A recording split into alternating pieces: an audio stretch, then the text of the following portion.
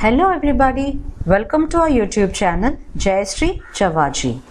Name of the book Mindset The New Psychology of Success. Author Carol S. Dweck, PhD. Chapter 2 Inside the Mindset continues.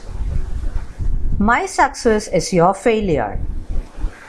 Last summer, my husband and I went to a dude ranch, something very novel since neither of us had ever made contact with a horse. One day, we signed up for a lesson in fly fishing. It was taught by a wonderful 80 year old cowboy type fisherman who showed us how to cast the fishing line and then turned us loose. We soon realized that he had not taught us how to recognize when the trout bit the lure. They don't duck on the line, you have to watch for a buoy in the water. What to do when the trout bit the lure, or how to reel the trout in if by some miracle we got that far. Well, time passed, the mosquitoes bit, but not so the trout. None of the dozen or so of us made the slightest progress. Suddenly, I hit the jackpot. Some careless trout bit hard on my lure, and the fisherman, who happened to be right there, talked me through the rest. I had me a rainbow trout. Reaction 1 My husband, David, came running over, beaming with pride and saying, Life with you is so exciting. Reaction 2 That evening, when he came into the dining room for dinner, two men came up to my husband and said, David, how are you coping? David looked at them blankly. He had no idea what they were talking about. Of course, he didn't. He was the one who thought my catching the fish was exciting, but I knew exactly what they meant. They had expected him to feel diminished, and they went on to make it clear that that's exactly what my success has done to them. Shirk, cheat, blame, not a recipe for success. Beyond how traumatic a setback can be in the fixed mindset, this mindset gives you no good recipe for overcoming it. If failure means you lack competence or potential, that you are a failure, where do you go from there? In one study, seventh graders told us how they would respond on to an academic failure, a poor test grade in a new course. Those with a growth mindset, no big surprise, said they would study harder for the next test. But those with the fixed mindset said they would study less for the next test. If you don't have the ability, why waste your time? And they said they would seriously consider cheating. If you don't have the ability, they thought, you just have to look for another way. What's more, instead of trying to learn from and repair their failures, people with a fixed mindset may simply try to repair their self esteem. For example, they may go looking for people who are even worse off than they are. College students, after doing poorly on a test, were given a chance to look at tests of other students. Those in the growth mindset looked at the test of people who had done far better than they had. As usual, they wanted to correct their deficiency. But student in the fixed mindset choose to look at the test of people who had done really poorly. That was their way of feeling better about themselves. Jim Collins tells in Good to Great of a similar thing in the corporate world. As Procter & Gamble surged into the paper goods business, Scott Paper, which was then the leader, just gave up. Instead of mobilizing themselves and putting up a fight, they said, Oh well, at least there are people in the businesses worse off than we are. Another way people with a fixed mindset try to repair their self esteem after a failure is by assigning blame or making excuses. Let's return to John McEnroe. It was never his fault. One time he lost a match because he had a fever. One time he had a backache. One time he fell victim to expectations, another time to the tabloids. One time he lost to a friend because the friend was in love and he wasn't. One time he ate too close to the match. One time he was too chunky, another time too thin. One time it was too cold, another time too hot. One time he was undertrained, another time overtrained. His most agonizing loss, and the one that still keeps him up nights, was his loss in the 1984 French Open. Why did he lose after leading Ivan Lendl two sets to one? According to McEnroe, it wasn't his fault. An NBC cameraman had taken off his headset and a noise started coming from the side of the court. Not his fault. So, he did not train to improve his ability to concentrate or his emotional control. John Wooden, the legendary basketball coach, says you aren't a failure until you start to blame. What he means is that you can still be in the process of learning from your mistakes until you deny them. When Enron, the energy giant, failed, toppled by a culture of arrogance, whose fault was it? Not mine, insisted Jeffrey Skilling, the CEO and resident genius. It was the world's fault. The world did not appreciate what Enron was trying to do. What about the Justice Department's investigation into massive corporate deception? A witch hunt.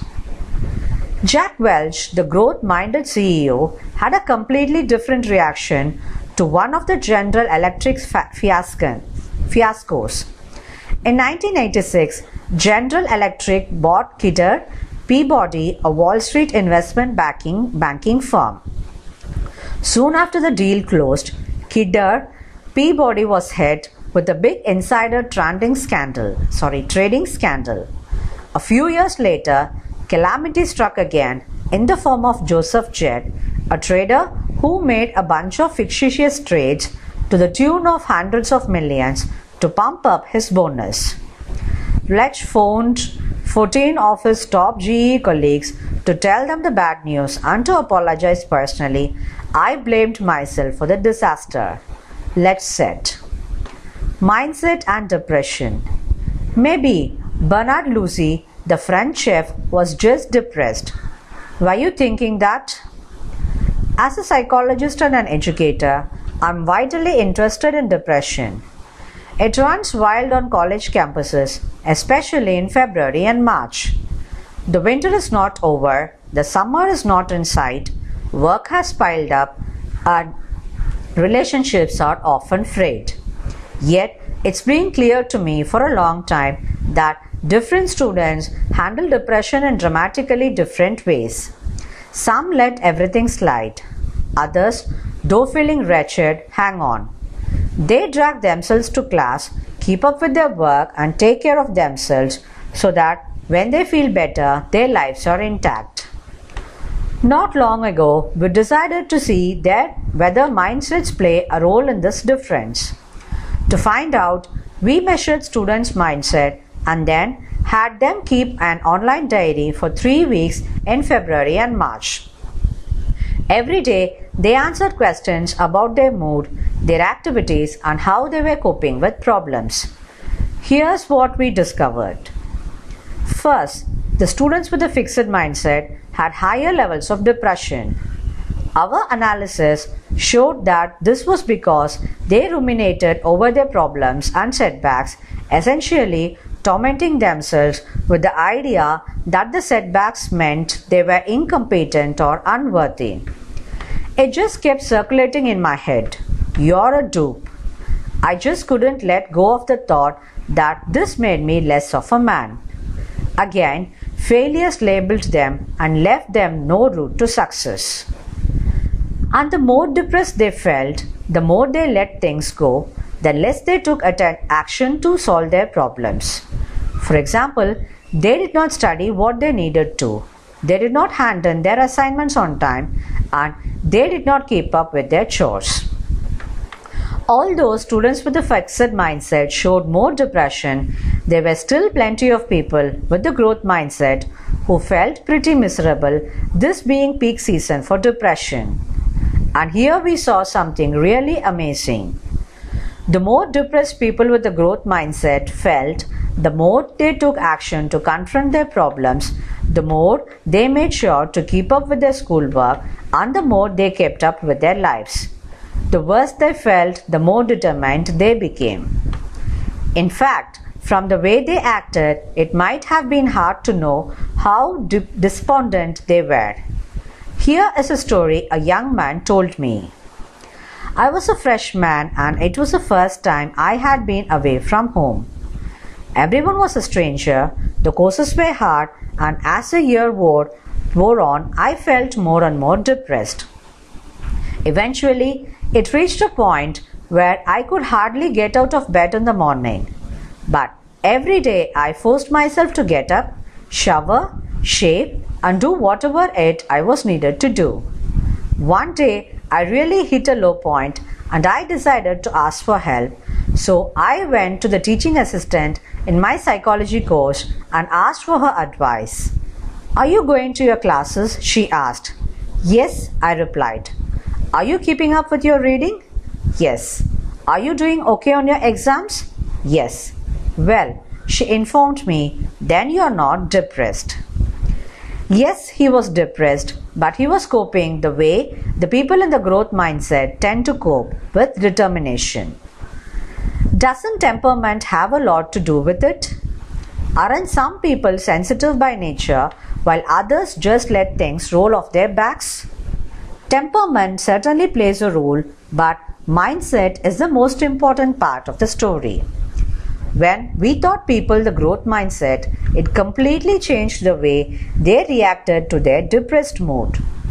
The worse they felt, the more motivated they became and the more they confronted the problems that faced them. In short, when people believe in fixed traits, they are always in danger of being measured by a failure. It can define them in a permanent way. Smart or talented as they may be, this mindset seems to rob them of their coping resources. When people believe their basic qualities can be developed, failures may still hurt, but failures don't define them. And if abilities can be expanded, if change and growth are possible, then there are still many paths to success.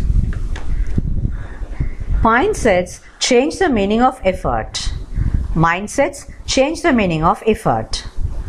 As children, we were given a choice between the talented but erratic hare and the plodding but steady tortoise. The lesson was supposed to be that slow and steady wins the race. But really, did any of us ever want to be the tortoise? No, we just wanted to be a less foolish hare. We wanted to be swift as a wind and a bit more strategic say not taking quite too, so many sources before the finish line. After all, everyone knows you have to show up in order to win. The story of the tortoise and the hare, in trying to put forward the power of effort, gave effort a bad name. It reinforced the image that effort is for the plodders and suggested that in rare instances, when talented people drop the ball, the plodder would sneak through. The little engine that could the saggy baggy elephant and the Scuffy tugboat, they were cute, they were often overmatched, and we were happy for them when they succeeded. In fact, to this day, I remember how fond I was of those little creatures, but no way did I identify with them. The message was if you are unfortunate enough to be the runt of the litter, if you lack endowment, you don't have to be an utter failure. You can be a sweet, adorable little slogger, and maybe, if you really work at it and withstand all the scornful onlookers, even a success. Thank you very much. I'll take the endowment. The problem was that these stories made it into an either or. Either you have ability or you expend effort. And this is part of the fixed mindset. Effort is for those who don't have the ability. People with the fixed mindset tell us if you have to work at something, you must not be good at it. They add, things come easily to people who are true geniuses. I was a young assistant professor in the psychology department at the University of Illinois. Late one night, I was passing the psychology building and noticed that the lights were in some faculty offices. Some of my colleagues were working late. They must not be as smart as I am, I thought to myself. It never occurred to me that they might be just as smart and more hardworking. For me, it was either or. And it was clear I valued the either over the or. Malcolm Gladwell, the author and the New Yorker writer, had suggested that as a society we value natural, effortless accomplishment over achievement through effort. We endow our heroes with Superman abilities that led them inevitably toward their greatness. It's as if Midori popped out of the womb fiddling, Michael Jordan drawing, and Picasso doodling. This captures a fixed mindset perfectly, and it's everywhere. A report from researchers at Duke University sounds an alarm about the anxiety and depression among female undergraduates who aspire to effortless perfection. They believe they should display perfect beauty, perfect womanhood, and perfect scholarship all without trying, or at least without appearing to try. Americans aren't the only people who disdain effort.